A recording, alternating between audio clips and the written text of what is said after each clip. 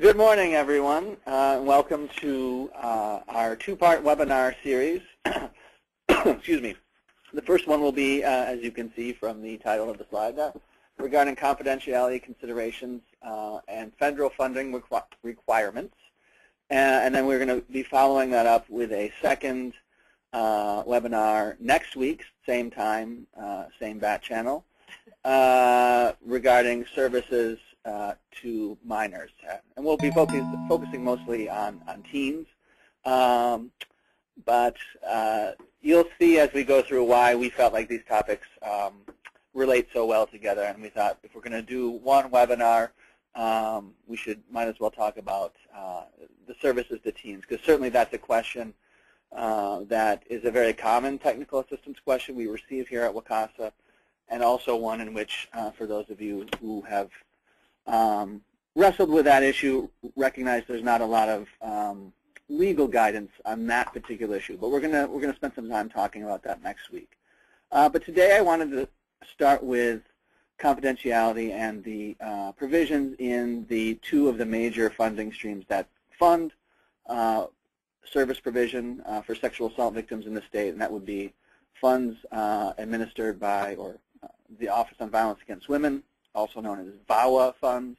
Um, although one thing to note is they may not be called that. You, you may not see that the, the name of the funding stream is called VAWA. We're going to use that language, but it may, in your community, be uh, SASP, or Sexual Assault Service Provider Money. That's not exactly the right acronym. Does anyone know what the SASP, the federal SASP acronym, we'll get that too. It gets confusing because there's SASP funding stream and then obviously SASPs are uh, sexual assault service providers in Wisconsin.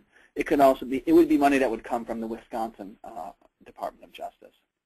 So we're going to talk about that uh, today. Uh, and but before we even get into that, we're just going to sort of ground ourselves in confidentiality. It's something I think is obviously uh, not a, a, new topic, um, but we just want to talk about why why this is important before we get into the uh, nuts and bolts of the, uh, the legal language and some of the implications, uh, which I think will be the most, uh, where we'll spend most of our time is what's the implications of, of these provisions. But before we do that, I just want to bring in uh, my co-presenter, Kelly, to introduce uh, yourself. This is Ian, by the way. I guess I never introduced myself. This is Ian Henderson from WCASA. Good morning, everyone. This is Kelly, also from WCASA, and I'll just like throw in a few housekeeping items. We have our um, awesome WCASA staff here monitoring and making sure, if you know Ian and I, you may know that we're not the techiest folks in the office. So uh, we've got Peter Fiala here who is uh, monitoring the tech stuff. So if you have any um, tech issues, he can hopefully help help with that. And Rose Hennessy is um, is monitoring the um, the text, uh, the questions and things like that. So she's going to um, keep an eye on that. So if you have questions, please feel free to type them in the box, and we will get to them uh, get to them as as they come up, or at the end, sort of depending on depending on timing. So um, if you're having any technical difficulties, you can also put that into into the chat. Um, and we also have other WCASA staff, Naomi and Lynn, also joining us. So um, thanks everybody, and we'll get started.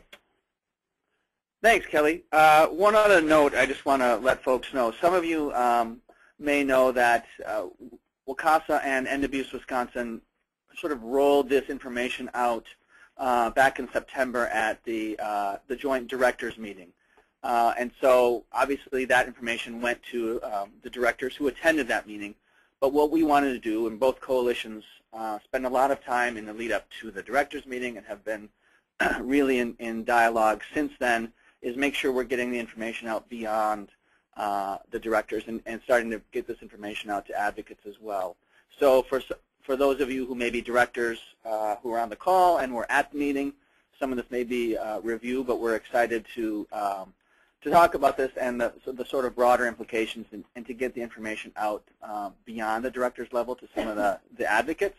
And for advocates uh, on the phone or on the webinar, um, that might be something you want to check back in with your director about because obviously some of the things we'll be talking about in terms of agency policy and decisions would be things that obviously we would need uh, directors to be involved with. So um, just want to point that out, and then really that this is a, a follow-up uh, training uh, to the, the information presented at the director's meeting. And I know NWS has been doing, and Tess, who's my uh, colleague at NWS, has been doing uh, tra regional trainings uh, for directors as well. So we're doing this uh, definitely in, in partnership with NWS and have spent a lot of time with them talking about these issues and making sure we're getting information out to the programs on these issues.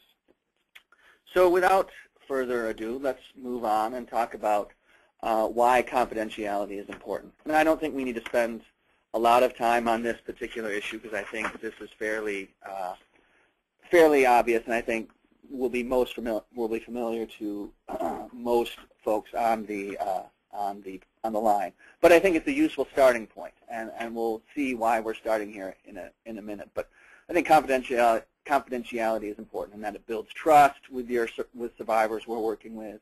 It can enhance physical safety if survivors uh, have relocated as a result of the assault and who want to keep that uh, their physical location confidential.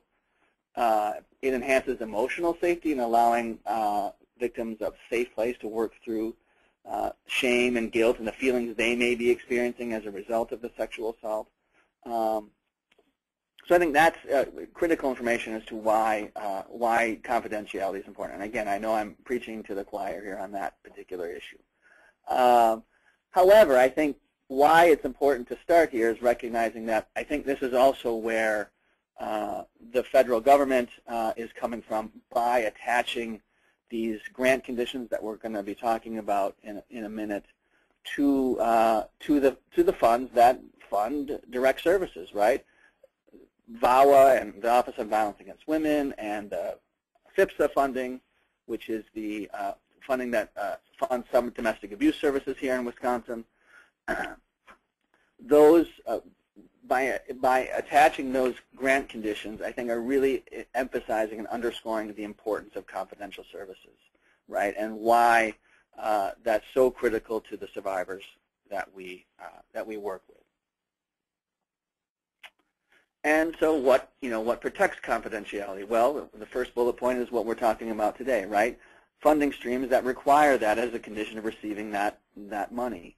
Privilege laws, I'm sure you all are familiar with. In Wisconsin, we have the victim advocate survivor privilege that protects the confidential communications between survivors and advocates and allows that information to be kept confidential and to be kept out of court proceedings. I'm sure many of you have agency policies, or most of you, I'm sure, that state that you provide and, and offer confidential services. And then other things such as ethical obligations and uh, record keeping, which we're not going to spend as much time uh, on talking about today. We're really going to be focusing on that first bullet point, but want to recognize that there's a variety of things that really allow the services that we provide to be protected and to allow that information to, and the privacy of victim information to be kept uh, confidential. So these are really uh, tools, if you want, that agencies and advocates can utilize to uh, refer to when someone may be asking, well, how can you keep that information confidential? These are the various things that, that require that. So now we're going to shift to um, the Violence Against Women Act, and you have the citation up there. And one of the things I think it's important to note is um, that I've got VAWA 2005 and the 2013 reauthorization. So what I want to emphasize today is that this information really is not new information. There has been, with the 2013 reauthorization, I think a renewed emphasis uh, by OVW, the Office on Violence Against Women, um, about confidentiality, and so I think that's why maybe there's some of this heightened attention to it, and I think certainly um, it's not something we were paying as close attention to as a coalition. And when we met with uh, with End Abuse, as we were, you know, sort of looking at the VAWA 2013 reauthorization, we realized that a a this wasn't really that new, and maybe we should have been uh, really having these conversations even longer ago. But I think there also was some renewed uh, renewed emphasis by OVW. And so I think uh, that's one thing I want to uh, just signify up front, that this is not really new. And second, I think, importantly, would be that um, I think when you go when we go through the, the the real fundamental principles here, you'll realize that it's the practices that they're alluding to are things you're probably already doing as well. Um, that this is not maybe the huge sea change that maybe we thought it was going to be. Uh, when you really look at what it's what VAWA is saying, I think there's some questions as you get down into the weeds, so to speak, and there's some, uh, and we're going to talk about that as we go through the webinar, where there's maybe some challenges. Um, but I also want to uh, let you all know that really I think when you when you look at this information, it's not really saying anything that groundbreaking. And I think it's really um, what VAWA is aspiring to and trying to emphasize is, is best practice. Uh, that, you know, um, they're coming from the place of wanting to strengthen the privacy and confidentiality of sexual assault victims and domestic abuse victims' information. And I think when we start from that point, we can, I would imagine, all agree that that's a, a that's a good starting point, and that we think that's uh, important, right? Uh, we know sexual assault survivors, the concerns over the privacy of their information is really paramount after an assault. So I think understanding that VAWA um, is recognizing that and uh, making a real policy decision by attaching these grant conditions is is a, is a is really aspiring to best practice. But we'll see as we go through that, you know, there may be some, some challenging areas when we start looking at the details. So here's what VAWA says as the grant condition. And I think, again, when we look at this, this information should not be anything that probably is not a new is, is new or not something that you're already doing.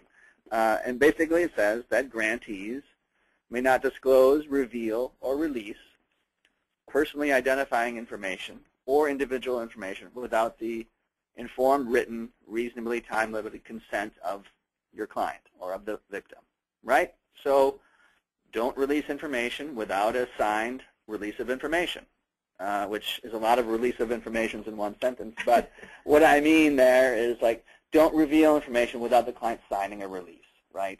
Um, what gets tricky here is the use of reveal and release and then the release being a thing, but right at, at its at its core, what VAWA is saying is don't disclose information without the client signing a release of information, which I'm sure all your agencies have those forms. And we'll talk a little bit about releases in a minute. Second bullet point is also important, and you can see this is why we decided, one of the reasons we decided to look at a second part webinar about services to minors, because it also says in the case of an unemancipated minor, which would be most children in Wisconsin, uh, very few uh, minors are emancipated, the release has to be signed, the release of information needs to be signed by the minor and the parent or guardian of the minor.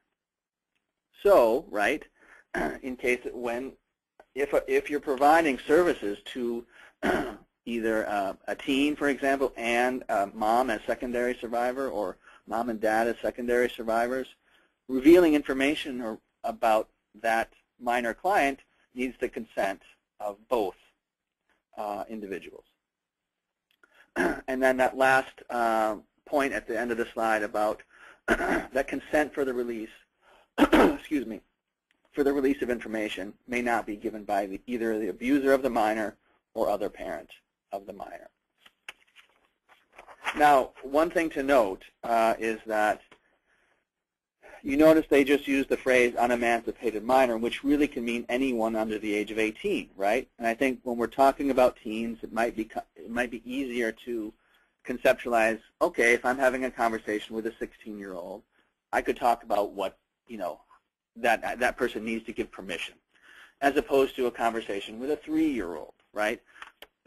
might be very different, but you'll note that not, the law does not make a distinction based on age. So here's where one of the you know one of the issues uh, potentially with VAWA of, of, not giving a lot of framework or guidance on how um, programs would address this issue with minors who may not be developmentally cap capable of signing a release of information.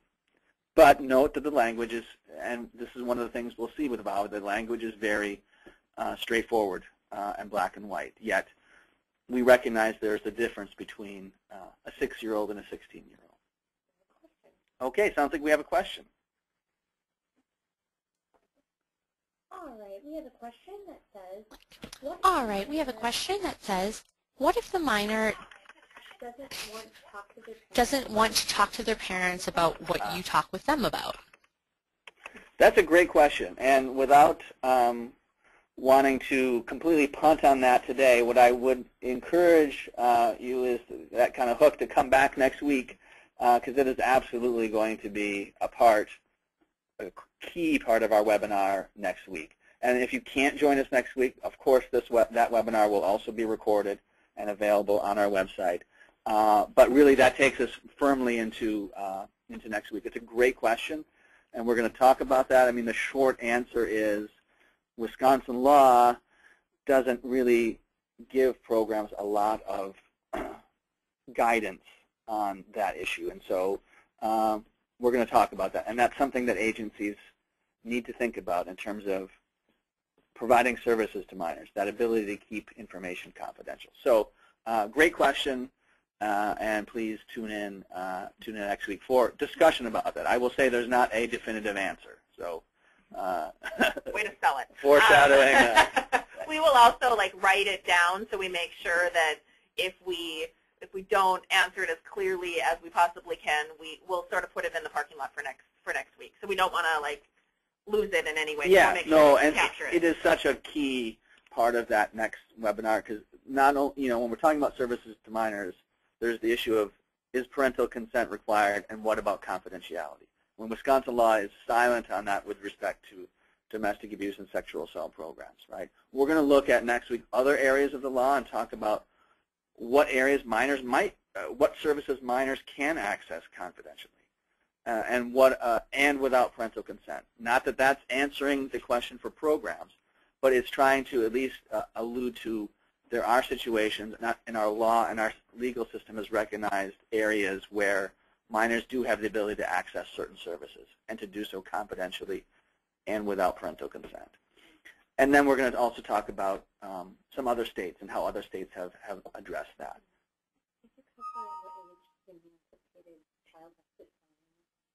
Sign? Another question. At what age Mhm. the emancipated Child has to, or unemancipated. Emancipated. Sorry. No, no, and that's what the law does not. Uh, and the law just uses the word unemancipated minor. That's that's one of the things I. I it's a it's a really good question, and the law does not address how to deal with the differences between an unemancipated six-year-old versus an unemancipated 16-year-old. They're all treated the same. Okay. Good questions. So now moving on. Uh, trying to move on. Okay, there we go. So um, you'll notice that the right the, the last slide talks about re releasing that personally identifying information or individual information with right. And so what is that? well, VAWA uh, does give some guidance on that or, or some language about what that is. it basically means any information for or about an, an individual likely to disclose the location of a victim of sexual assault, domestic abuse, which could include name, address, contact information, driver's license number, or any other info and any other information that including the date of birth or racial ethnic background that could serve to identify the person, right? So you see it's, it's broader than just name, right? It includes a lot of other information that could identify that person. Now one thing um, to note is as far as grant reporting, VAWA does allow demographic information to be shared in aggregate to comply with data collection requirements, right? So um, that uh, that is not prohibited here, but any any of this information, any personally identifying information, right? You must have the informed, written, or reasonably time-limited consent. One other thing I want to note um, about this is we're talking we're talking a lot about federal law today. I do want to uh, just mention that for uh, dual programs, there is another uh, state law that operates uh, to protect confidential confidentiality, and that's the waiver of nondisclosure. Now, for sexual assault, for standalone sexual assault programs, that's not something that you need to uh, worry about. Uh, but for dual programs, all right, there is that additional state law that that uh, is something that clients need to sign that waiver of non-disclosure before releasing information. And again, for questions really about that, I want to allude to it. Um, certainly, end abuse and Tess uh, are really uh, experts on that. But I just didn't want to gloss over because I'm sure we're talking and, and know, in fact, we have some dual programs on the phone as well. Okay, so that's personally identifying information. We've talked about that. Uh, releases of information. And again, this information here um, is not new either. And certainly it's something that's a core part of our confidentiality presentation at SAVIS, our victim advocacy school on releases, releases of information, right? And the VAWA says they must be informed, written, reasonably time limited, and I think what we're saying uh, on that, and although VAWA doesn't specify what that means, we are promoting that 15 to 30 day time limit uh, and revocable release of information. And that services may not con be conditioned upon a victim signing of a release. And really that release of information should be sufficiently specific. And that's getting at that informed part. Because an informed release is one that I think, or and that we think, uh, states what is going to be released, what information is going to be released, for what purpose, why the information is being released, and to whom, right? And I think that is really what VAWA is um, emphasizing here on that, on the releases of information, that our releases really need to be specific, because that's really going to protect the privacy of, of client information.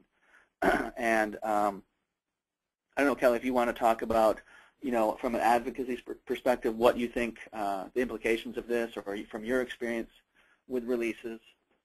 I think you know we've done some regional trainings, and you know at SAVIS we we get some feedback on this, and it, it is challenging, especially when you think of that 15 to 30 day um, recommended time limit on on releases. It does potentially put some burden on the advocate and the organization to be getting releases signed more frequently, which, you know, uh, when, we, when we're dealing with survivors who have transportation issues, when we have programs uh, covering, you know, large multi-county service areas, that, that these things can, you know, can uh, increase some, some difficulties for programs and, and how they're doing this. And I think our message um, and I know from from doing the work in a seven county service area and uh, you know understanding that um, we just always tried to go back to that best practice um, uh, perspective, even if it meant an inconvenience. And that can be um, that can be challenging because it, it doesn't seem uh, like it helps with the functionality of how you're providing services. But I think we believe so strongly in protecting confidentiality and and following uh, the the intent and philosophy behind VAWA that we we um, deal with the inconvenience uh, to, to stay true to, to this. And I think um, sometimes that can be challenging. So just trying to kind of remind ourselves of that and why it's so important. Right. And it's really at the core of advocacy and the core of what we do. So we, you know, you just kind of go through the, jump over the hurdles right. as, right. as they come up. Right, exactly. And I think, uh, again, with releases of information, I think the, I, I'm really stressing that informed, because I think most of us have the written, and I think I'm hearing less and less of longer. I think I'm hearing, it seeming like programs are, uh, the message has gotten out and releases, that time period is, uh, is, is shorter. Um, but that informed piece is, is a point I really want to emphasize uh, in that, you know, the release should be signed only in contemplation of actually revealing information. Um, it doesn't mean you have to, and certainly that revocable piece uh, allows the client to, to withdraw that consent. But having that, you know, moving away from a practice of let's just get the client to sign a release of who, who might we need to talk about, and we've got it. I really think VAWA is, is wanting it, this, us to move away from that practice, uh, recognizing what Kelly talked about, that at times that can be, um, it can be inconvenient, uh, but I think when we step back from that and look at why, again, it's about protecting confidentiality. So I think that's it's really important.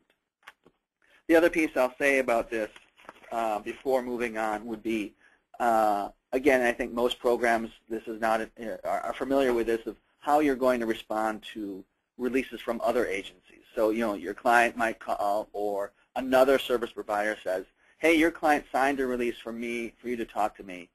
You know, how you're going to handle that, again, I think what VAWA is saying, despite that release, you want that client to sign your own release of information, right? And VAWA is, is requiring that. And I think the importance of, of that is A, VAWA, but B, like being, so you're able to have a conversation with the survivor to see like exactly what that, um, what you're supposed to be releasing, you know, what they are comfortable with you talking to. So if it's a, a system partner or a, you know, as Ian said, another service provider, that doesn't necessarily mean even if they signed the release on the other end, uh, you don't know how well informed it was. You don't know what kind of information that they shared on, on their end, as well as you don't know what sort of information they want shared and what information they don't want shared. So I think it's just really important to have that conversation so you're getting, uh, you're able to provide that informed and specific information so you know what's appropriate for you to share. Right, exactly.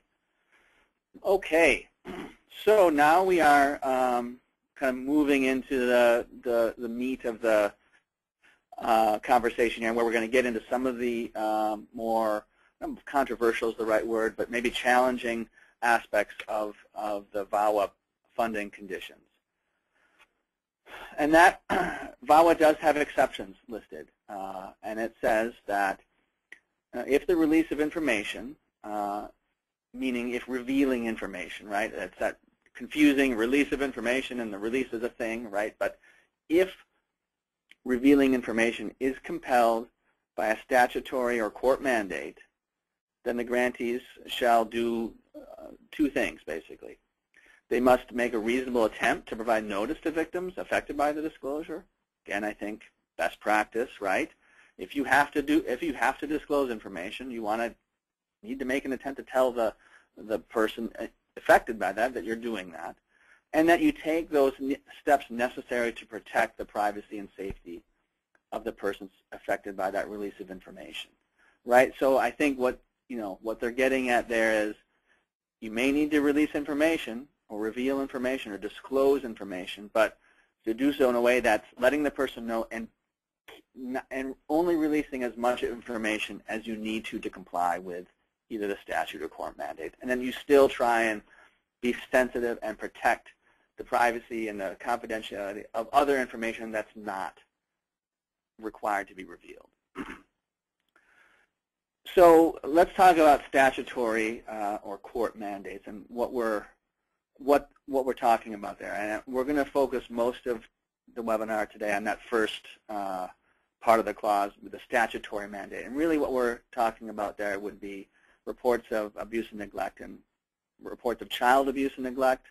Uh, we also have mandatory reporting obligations for individuals at risk, although that operates differently um, in, in Wisconsin. And without going too deep into that, you know, uh, probably you all familiar that that report, there is mandatory reporting for those populations, although there are opt-outs for those reporters. that does not exist in child abuse and neglect. and that's why we're going to spend most of uh, today talking about uh, child abuse and neglect reports. The other part of that court mandate would be a court order, right? So the court ordering a program to disclose information. And then lastly, right, uh, this was, this last point on the slide is what VAWA, this was added to VAWA 2013. Again, it doesn't say anything new, um, but that nothing in the VAWA grant conditions prohibits reporting abuse and neglect, as those terms are defined and specifically mandated by state or tribal law. so note that includes state and tribal law. I know we have some tribal programs uh, on the line. Uh, again, basically stating, right, that the grant conditions are not prohibiting reporting of abuse or neglect as those terms are defined by state law. So again, here we see the interplay between federal law and state law and our mandatory reporting law and specifically mandated. And that those two words are going to become really uh, significant as we uh, go forward. mandated by the state or tribal law.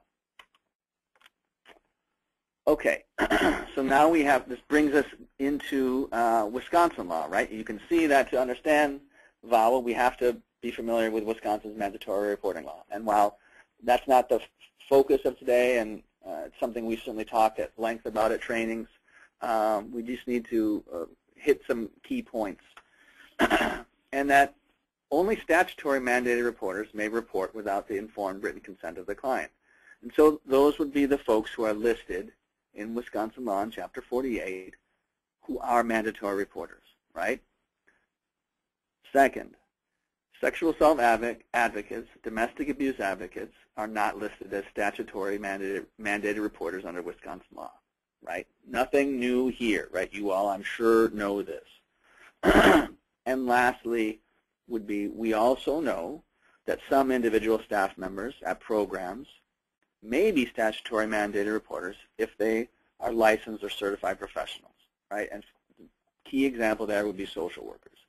I can tell you we spent hours and, uh, you know, on these issues um, in leading up to uh, the directors meeting and um, but I, you know I think it's it's important just to uh, to understand that right? So the statutory mandated reporters don't need that release of information. Um, they have to do these the first two bullet points there. Um, but advocates generally are not mandated reporters under Wisconsin law meaning that they would have to get that release. Correct. Yeah. Correct. so here becomes one of the, I think, key takeaways from today. And also remember, what I'm speaking of and what we're speaking of here is grant conditions attached to VAWA money. And I think we did get the what SASP stands for. It stands for the Sexual Assault Services Formula Grant Program. Uh, they ignored the F in the acronym, and that's fine. Uh, but um, so this applies, these grant conditions are uh, attached to those programs who receive VAWA funding, right? and so we, we've established, right, and you all know advocates are not statutory mandated reporters. And as Kelly just said, therefore, they may not report without the informed written consent of the parent and unemancipated minor, right? That's straight out of VAWA. And so I think here becomes one of the very big implications. And one of the things we, when we read this and spent time with this, we thought, because you know, this is this could be um, significant for some programs, that agencies that receive VAWA funding may need to reevaluate permissive child abuse reporting policies. And what I what we mean by permissive child abuse reporting policies is, I know from uh, training at SABIS and from talking with advocates from across the state that some programs have policies that, that say, um, you know, it, not in these words exactly, but the, the, take, the bottom line is, well, we, we're not mandated reporters by law, but we're going to follow those laws as if we were, meaning we are going to report, even though we're not. if you receive VAWA funding, I think those policies uh, would need to be reevaluated because of what uh, what VAWA says. Uh, and that's, I think, one of the big uh, takeaways I hope Uh, you all uh, leave with today is that that that's seems to be in contravention with, uh, of what VAWA is saying to allow that permissive reporting.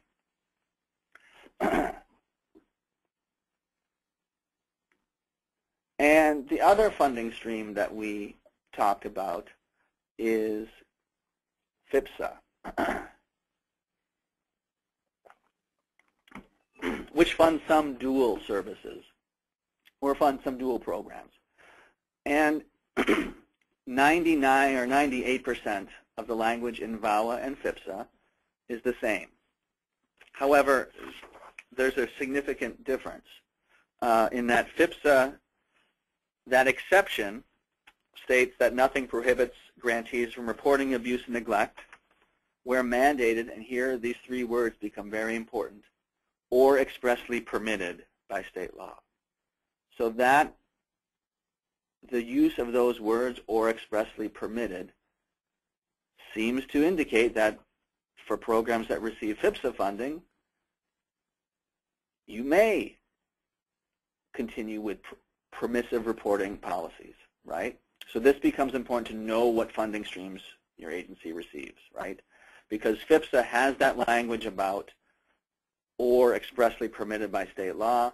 In Wisconsin's mandatory reporting law, uh, it, the, the statute states anyone may report abuse. Well, that's that's permissive reporting, right? so um, what happens if a program receives both VAWA and FVPSA? I think, I'm sorry? What is FVPSA? The Family Violence Prevention and Services Act. Thank you. I believe that's exactly right. It is administered by the Department of Children and Families here in Wisconsin. So it's administered by DCF. It funds domestic abuse services. So for sexual assault standalone programs, I don't think that any of them would be receiving FVPSA money. It comes from it, it, it comes from the federal government and is passed through by Department of Children and Families here in Wisconsin. Dual programs, many of them, I believe, would receive that funding. VAWA comes from the Office on Violence Against Women at US DOJ, is passed through in Wisconsin by, to the Wisconsin Department of Justice, who then does fund some programs with that money. so, right, there's a, there's a distinction between the two funding, uh, funding sources, right? The language is not exactly the same. And I think, uh, Kelly, I don't know if you want to talk about some of your experience with programs or, you know, operating with those grant conditions that say different different things. Yeah, I think it's it's always challenging when you're you know you're you know everyone's funded. We're WCASA's funded by multiple different multiple different grants, and you're trying to manage you know so if it, especially individual staff. So our staff funds even like are diversified. So I'm not just funded under one grant. I'm funded under five or six different grants or whatever the case may be. So me as a person trying to sort of compartmentalize which part of my work goes under which grant is challenging. But then when you're dealing with conflicting um, language related to those funding sources, it can get it can get really challenging. And so I think this isn't unusual for um, for programs to have to deal with. I think we see um, one example would be around like some uh, related to the financial management piece of grant funding that sometimes grants have different requirements and different expectations. Uh, the one example that comes to mind is the um, you know the amount, the percentage of funds that you can move uh, within cat categories without asking for a budget modification. Uh, and what we see in some of our grants is that that percentage is different from grant to grant. So one grant may say you can move 10% of funding uh, within categories. One may say you can move 20% of funds within categories. And so, uh, again, instead of having different rules for different grants and different projects within our organization, we generally decide to follow the more strict uh, version. Because if I'm um, if I'm a, a grantor and I require you to do 20% and you decide to do 10, which is more strict, then I'm going to be like, hey, that's great. Like I don't care if you're doing, you know, if you're if you're choosing the more strict policy. Um, but if I'm the grantor that requires 10% uh, and you are doing 20, then I'm obviously going to going to have issue with that. So I think uh, when we see those conflicts, um, within funding sources, uh, we generally try to, to follow the more strict um, uh, option. And that's exactly, uh, I think, the point that we want to emphasize today is if you receive both, right, uh, that could certainly be possible for some programs, then what we are stating in, in ter terms of talking with End Abuse is that more restrictive, which is the VAWA, which is the language in VAWA, controls. Uh, and so the VAWA provisions would be the ones to follow. so I think you know this was part of one of the more controversial aspects of this when we were going through it, recognizing that the potential impact or implication for agencies, agency policies, uh, as a result of these grant conditions. but I want to also now step back from the nuts and bolts here of VAWA and FVPSA and, and again where we started, which is why did these, why did OVW, uh, and again, I'm getting into their heads. I don't, no one has said that why they've done this, but I can only imagine that the reasons they decided to go this way was something to strengthen private. This is something they could do by attaching these grant conditions to strengthen the privacy and confidentiality of the information of sexual assault and domestic abuse victims. And so if we think about that as being its underlying purpose, again, I think we can agree that's, that's important. And I think what this offers the opportunity for programs, it certainly has, uh, we've had the conversations here, at times heated conversations about the philosophical, uh, where, you know, implications of these things. And I think there's certainly room for, for debate here. Um, but I think it poses the opportunity for us to look at our policies and to look at how we are uh, handling certain information, particularly around reporting of child abuse and neglect. So I would say even for programs that aren't VAWA funded, that you're FVPSA funded, you're right. You don't, you are not in, required to follow the VAWA provisions if you don't get the VAWA money. I do think, though, that it does offer the opportunity to evaluate agency policy and to look at whether permissive reporting uh, is serving the best interests of client privacy. And uh, I'm not going to take a position on that here, uh, but I think if we if we look at aspiring to best practice, I think that you know this does provide an opportunity for programs and agencies to evaluate their policies. Even if you're not required to follow VAWA, I think it's worth thinking about. Uh, so that's my one little, or our one little uh, kind of preachy uh, moment here. Uh, but I'm hoping that we recognize that this particular uh, piece of VAWA was maybe going to be uh, challenging for programs. Okay. All right. this is another, I think, situation as we looked at VAWA that we thought, uh, and as I sort of talked to advocates about this, um, they've identified this as a as a um, as a challenge, right? That VAWA is very, uh, and FVPSA, true as well, um, very black and white approach to uh, confidentiality seems to not allow for uh, emergency situations because nothing in either of those uh, laws addresses emergency situations. And when we're talking emergency situations, I mean, there are a myriad of them, right? the ones that I most often hear are uh, the threats of self-harm or some medical emergency, which could be related or, or not necessarily. That what VAWA and FVPSA say is um, you need to have the informed written consent before releasing identifying information. And um, is that practical in emergency situations?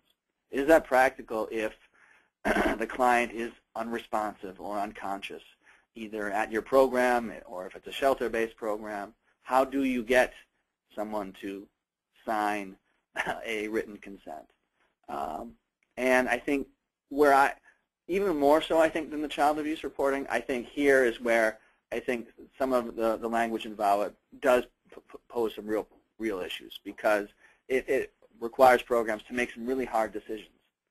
And they are probably decisions that you already have either already have made uh, or have contemplated, right? Again, these, these emergency situations are not new. Um, and you may have wrestled with these already.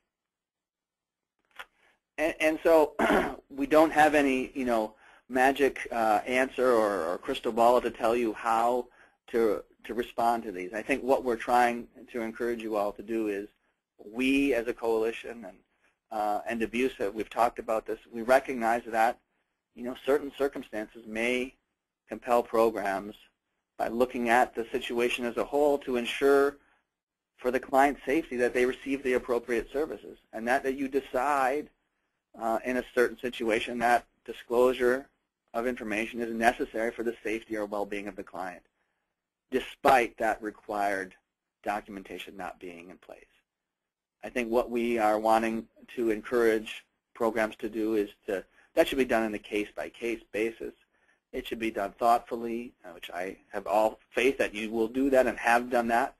Uh, and then it's a well-reasoned decision. And that you do release information as minimal as you can to what you feel accomplishes the, the goal, which is perhaps the safety of the client. I don't know, Kelly, you've had, from your experience, you've talked about situations, if you want to chime in on, uh, on this from your experience as an advocate, how you wrestled with that. Well, I think the first thing is, is trying to um, maybe up front uh, be truthful with um, with the people you're serving related to this. So when you're discussing confidentiality, um, letting letting people know what those limitations are. So the limitation related to emergency situations, saying like, I'm going to keep this information confidential unless circumstances are compelling me related to you know um, your physical well-being, uh, you know, th threats to harm yourself, you know, medical emergencies, those sorts of things. So you would be talking with folks in a non-emergency situation about this um, specific uh, sort of a, uh, uh, deviance from your, you know, confidentiality um, policy for your for your agency. Um, at the same time, is is when you're in those, like I've been on those hotline calls where you're, you know, talking with a survivor. Uh, you know, I had an instance where I was talking with a survivor who I knew was a cutter, um, didn't necessarily assess her as suicidal, someone I had worked with for a really long time, um, and then the phone goes dead. And then what? Then what do you do? You know, you try to get her back on the line. You try to get her back on the line. You knew she was in a heightened state of anxiety when you had her on the phone. You know, you're really trying to um, trying to, to do what's best. And I think, um, you know, for me in that situation, I I, I chose the well-being uh, of the survivor, um, but I didn't sort of open the door to all of her information. I, I, you know, I placed a phone call. We did a welfare check, you know, to make sure that she was okay. That didn't mean that I was giving away all of her information. It meant that I was giving away as much as ne needed to have her checked in on to make sure that she was okay. And um, so I think that's the, those are the decisions that we make. And having agency policies that address these things, um, that people aren't in those situations to have to handle them um, on their own without, you know, having, having, you're not going to be able to come up with every emergency Right. situation that's going to Right. come up. But as an organization, you can talk about, okay, how are we going to handle medical emergencies? How are we going to handle threats of harm? How are we going to assess threats of harm to see, uh, you know, sort of where, where folks are at and doing some suicide assessments um, and making sure staff is trained in that. So I think those are the things you can do on the front end. Um, and then, you know, just, you know, as Ian said, trusting folks to make really, uh, you know, really thoughtful, good decisions uh, when they're faced with these situations. Right. Thanks, Kelly. I think that's exactly right. so, you know, what are some possible consequences of vi violations of the confidentiality mandates?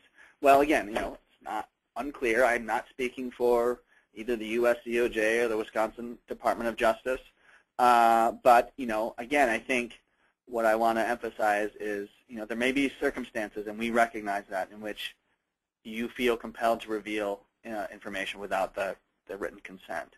And while there's not a guarantee of how funders would respond to that, we would we would think, and uh, you know, uh, that funders would work with programs based on, uh, you know, their desire to really assist programs in in complying with the the grant conditions. That they would work with programs to understand the circumstances surrounding the violation and to assist programs with future compliance. Again, it's not a not a guarantee, but I don't really have any reason to think otherwise. That this is there's not confidentiality police out there, right? We uh, we recognize and, and would think that funders would work with programs uh, to understand that. Um, although you know repeated violations uh, may warrant a stronger response, but those you know case by case tough decisions that are well thought out and reasoned, I think you know funders would would want to work with programs to understand that. I, I'm hearing there's a question. Yes, and this is referring to right before the slide. It says, would the same be true for clients who return to shelter under the influence and are harmful to themselves and or others? Well, I, I mean, I guess I would say, and Kelly, you know, referenced, there may be any myriad of emergency situations. I don't think we can, you know, I just gave some general examples. That's going to be a case-by-case determination. Um, what an emergency situation is going to be is going to very much depend on what's happening and you evaluating the situation and uh, weighing the harm of violating the provisions of VAWA or FVPSA versus the potential harm to clients or others if you don't. And, and again, I, I recognize that's kind of a, a non-answer, um, but really I think it's the best the best we can do. We there's no the emergency situations could be anything really. Uh, I just gave you and Kelly talked about some maybe common examples, but I I don't think there's a limit on what an emergency situation could be. That that decision is going to be have to be made case by case, and I would, you know, again, hopefully not by one person. That you're you're doing this as a as a team, and you're making the best decision you can as an agency. Is there another question? Yes, I'm going to ask for clarification though. Okay. Well, we'll keep we'll keep going then. Um, so we talked about uh, the possible consequ consequences, and then I think just uh, really in, in summary, um, I think that one of the big take-homes is to understand what funding your agency receives, right? And uh, if you need help with that, certainly that's something WCASA can provide. Um, obviously, our funders, uh, DCF, DO, uh, DOJ, can help with that as well. But obviously, that's important. That's something we've identified as significant uh, uh, today. So I think that's that's certainly important information. That second bullet point is again, I think, something you're already doing. You know, protect confidentiality and and don't release information without the informed written consent of the client, uh, unless you're in one of those uh, narrow uh, narrow exceptions. And with respect to emergency situations, you know, do your best, and we trust that you you will do your best and know that you do. You make these hard decisions every day, and um, that those uh, well thought out decisions, I, you know, without guaranteeing anything, uh, are are unlikely to be uh, punished. I, I guess um, that that decision, particularly when you're balancing those really competing interests. Uh, sometimes, not always, right? Of confidentiality versus uh, potential safety. Well, and I think the other point about that is is try to you know try to you know challenge your conversations and challenge yourself when you're going through these to not let the what if Mm -hmm. worst case scenarios sort of um, bring the conversation to a halt or bring you to a, you know just a sticking point that you that you can't work through. I think that you can never you know imagine all of the situations. I mean, you all know this because you're doing this on a day-to-day basis, but uh, you know, we're doing, you know, when I'm doing staff training and I'm talking about some, you know, some examples of these situations, I can never dream up all of the things that came up, you know, uh, uh, while you're doing this work. So, you know, try to not let that what if this and what if that sort of like, you know, um, paralyze you to, to, you know, to not move forward and, and making and making decisions and having these conversations. Right, and just to um, reiterate reiterate what something Kelly mentioned. Um, I'm backing up or trying to, because uh, I think I, I, glossed over it, but I, I really want to um, emphasize that as uh, a really important point here is that that last bullet point on this slide, and something Kelly mentioned, that really before you're providing services, you do what Kelly talked about is you're explaining any limitations on confidentiality to your clients and the survivors that you're working with so that they understand the rules of the game, so to speak, uh, prior to disclosing information. So they, they understand when you say our services are confidential, recognizing that maybe not, that's not true in all situations and that you give folks an understanding of what those limits are up front. I had a clarification on the question. Okay. Okay, so we do have to communicate to parents when we do release information, even though we know that they, the parents at this point, are not supporting the children. And we have to report that? It, it, yeah, um,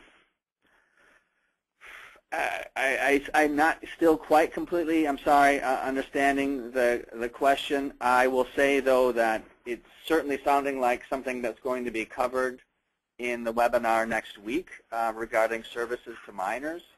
Um, so I think you know we'll I'll take a look at that and we will uh, try and make sure we're covering that and addressing that in the webinar next week. And I think there just there was another question, you know, specifically related to um, uh, to services to minors. Again, we're we're cataloging some of these questions that Rose is seeing come up that that we know we're going to be addressing right. next week. So if you did type in a question that you're like, hey, they didn't they didn't answer my question, right. um, it's because we're sort of you know tabling it with that other one we had earlier as well. Um, so we'll make sure we have those things, and it's it's awesome for us because we're still you know uh, finishing up putting that information together, so we can make sure that we have this information right. as a part of the next Right, right, exactly. That's really nice about doing this as a series is that it allows us to fine tune next week based on some of the, the feedback and comments uh, we're getting about that. 'Cause I, and again, you can see why we paired the topics, right? If you're not talking about service designers, you're missing a big piece of this, and I think you all are, are recognizing that with your questions. So we will absolutely be looking at those and uh, building that information into next week's webinar. And again, if you can't be part of that, it's going to be um, it's going to be recorded, and you know you also know how to reach us. Uh, and if you feel still like your questions aren't answered, and some of these questions are really complex and maybe better answered in a one-on-one uh, one-on-one format, so that we can you know do this uh, or to really kind of wrestle with the issues. Um, that's also an option too, right? We're going to try and cover in the webinar, but also recognize Kelly and myself uh, are available for technical assistance as well. All right. Were there any other other questions? We've got the ones we need for later. And all right. Okay. Well, that will conclude part one uh, of our webinar series. Uh, I want to thank you all for your questions uh, and look forward to speaking uh, to many of you next week. A reminder, the webinar is scheduled for Wednesday, December 17th. It will be also at 10 a.m. Uh, is there anything else folks need to know about registration or? Nope. Okay. So thank you all and uh, have a good rest of your week.